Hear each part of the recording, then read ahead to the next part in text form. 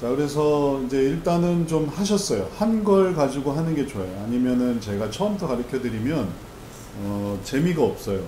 이게 발전이 없어요. 그래서 한번 해봤는데, 어, 그게 아니구나. 어, 해, 한번 또 해봤는데, 그게 아니구나. 하면서 이제, 어, 만들어가는. 이 개념이 이걸 어떻게 이해하셔야 되냐면은, 한 번에 되는 건 아니고, 요거를 수정해 가면서 하는데 수정하는 개념을 이렇게 생각하시면 되겠어요.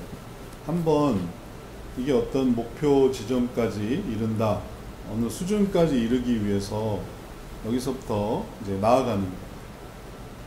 근데 무조건 어, 느 수준까지 이렇게 와야 된다라고 하면은 여기서부터 이제 나아가는 걸 모르니까 내가 여기서부터 이렇게 한번 해보는 거예요. 해보는 게 중요해요. 한번 해봤는데 완성 수준에서는 이게 못 미치죠. 그래서 여기에서 이렇게 수정을 해드려요. 아, 이렇게 오시라. 그러면은 이렇게 오는 걸 가지고 여기까지 또 가보는 거예요. 그럼 이제 발전이 되는 거죠. 그 다음에 또 여기까지 와보시라 라고 또 설명을 드려요. 그러면 이제 다음번에는 요걸 가지고 여기까지 와보는 거예요. 그래서 징검다리 식으로 여기까지 와보고 그 다음에 또 그 다음에 그럼 여기까지 하면 됩니다 하면 여기까지 오는 거예요. 자, 요게 일반적인 어, 이런 어, 실습을 통해서 요걸 해나가는 이런 과정이니까 여기서부터 한 번에 내가 이렇게 갈 거다 이렇게는 불가능해요. 한 번에 이렇게 가는 건 불가능해요. 왜 그 클라이밍 하는 거 보면 길 찾기가 어려워요. 길, 길을 잘 찾아야 돼요. 클라이밍 보신 분 계신지 모르겠는데 이렇게 암벽 등반, 암벽 등반이거든요. 암벽 등반인데 길을 이렇게 어떻게 해야 될까, 어떻게 해야 끝까지 올라갈 수 있을까 이런 걸 보는 것도 묘미예요. 처음엔 길이 안 보여요. 근데 이제 좀 더 시간을 어,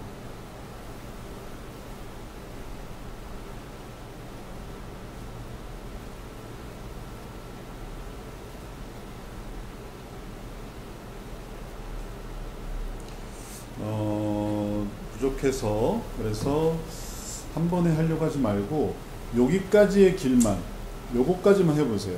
이게 불안하다 아니면 혹은 내가 너무 미치지 못한다 나는 한 번에 이렇게 돼야 되는데 한 번에 할 수 있어야 되는데 난 근데 너무 여기까지밖에 못한다 하면은 요게 말하자면 그만큼 좌절이 되는 거예요. 근데 그렇게 생각하지 마시고 내가 여기서 요만큼을 할 수 있었던 거 여기에 의미를 가져보세요. 그리고 거기서 이제 요만큼 할 수 있는 걸로 발전되면은 요게 의미가 있는 거예요. 아, 여기서부터 여기까지 있고 여기까지 있다. 매번 처음부터 시작하는 거거든요.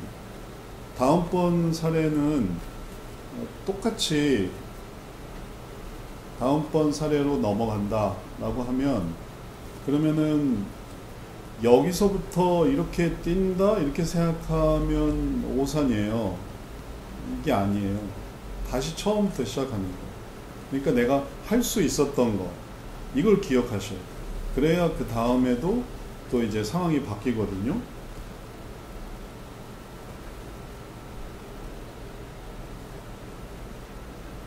여기서 이렇게 한번 가고 그럼 처음부터 다시 가는 거죠. 요 정도는 가겠다. 그 다음에 요 정도를 또 오겠다. 그 다음에 또 다음번으로 올라갈 때 요게 뭐 어렵다 하면은 이제 요걸 배워 돼요. 그래서 요런 단계를 하나하나 초점을 맞춰서 요건 되고 요건 되고 요건 된다 이런 식으로 발전을 해 나가야 끝까지 올라가실 수 있고 그리고 그게 최종적인 이렇게 되는 발전이에요. 다시 말해서 한 번에 되는 건 없이 지금까지 내가 해왔던 거 그게 반복이 되고 또 그게 의미가 있어서 다음을 할 수 있으니까 이걸 할 수 있으면은 이게 어 계속해서 아 나는 요거는 된다. 그것도 이게 쭉 이어져서도 아 나는 요거 요거는 된다. 그러면 이게 내가 되는 거예요. 되는 걸 찾으셔야 돼요. 그러니까 한 번에 안 된다고 너무 좌절하지 마시고 되는 걸 꼭 생각을 하세요. 여기서도 상황, 짝인 일진이 괴롭히고 마음대로 하는 상황에서 반응 정확하게 자신의 표현과 태도를 표현해야 되는데 일진이 하는 대로 보고만 있고 전전긍긍만 하고 있으니 결과 더욱 마음대로 하게 되었고 괴롭힘과 불안함은 깊어진다 이렇게 하신 거예요. 자, 이제 어떻게 바꿔드리는가 보십시오. 뭐 요것도 잘 하셨는데 요 상황, 반응, 결과의 의미를 더 명료하게 그래서 어, 아, 이제 더 이상 고칠 게 없습니다. 아, 뭐, 완벽합니다. 그러면은, 이제 이렇게 되는 거죠. 그러면은, 이게 딱 보이는 거예요. 이게 보이면, 상황, 반응, 결과가 보이면, 그 다음 것도 이제 또 보이게 돼요.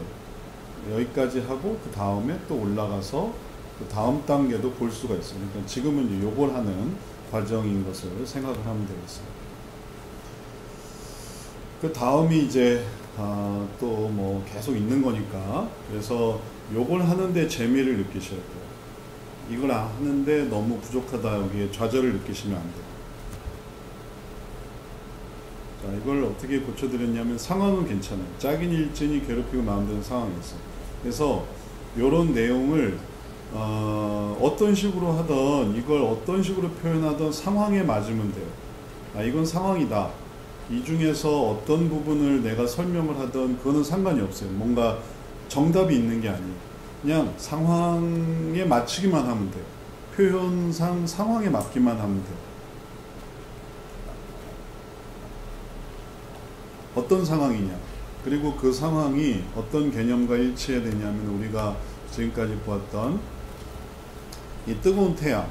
여기에 일치하면 돼요. 뜨거운 태양은 내가 어떻게 해볼 수가 없는 거예요. 그냥 그 자체로 존재하는 거예요. 그리고 그렇게 자체로 존재하는 이것과 그 다음에 내 반응과 결과를 구분하는 거 이런 게 중요한 거죠. 그리고 그 상황에서 어떻게 반응을 하니까 이게 문제가 더 이렇게 안 좋은 쪽으로 떨어지게 되고 그 상황을 더 좋은 쪽으로 이렇게 하게 되면 상황의 변화도 의미가 있어요. 그래서 이런 어 좋은 일이 생길 수도 있죠. 이 짝이 뭔가 뭐 스스로 뭐 전학을 간다. 뭐 이런 상황의 변화가 생길 수 있죠.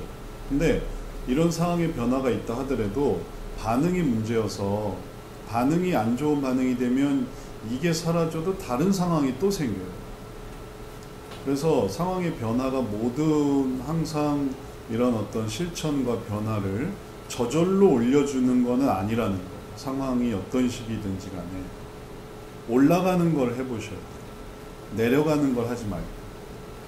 그래서 이런 어, 친구가 있던 저런 친구가 있던 내가 그 문제를 어떻게 해결한다 올라간다 이게 핵심이라서 한 발 한 발 올라가는 과정이 이제 이렇게 설명할 수 있는 거예요. 상황은 이런데 그래서 상황은 잘했어요. 근데 그 다음에 뭐가 안 되고 있냐면 반응을 좀 고쳐야 되겠어요. 반응. 반응은 뭐냐면 아까